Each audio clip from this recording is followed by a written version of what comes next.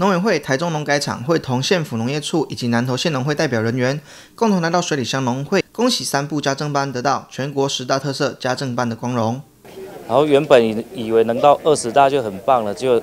意想不到进入到前十大的家政班。那我们家政班的课程有很多，不只是烹饪美食，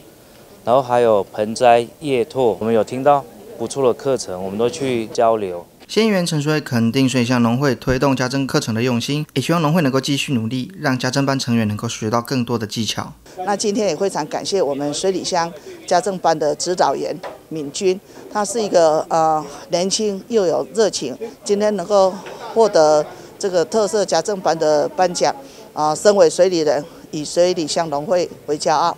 全国加起来数百个家政班来参加征选十大特色家政班。为在偏乡的水里乡三部家政班以实力来入选，除了让水里乡农会感到光荣外，也是南投县的光荣。记者邱品义水里采访报道。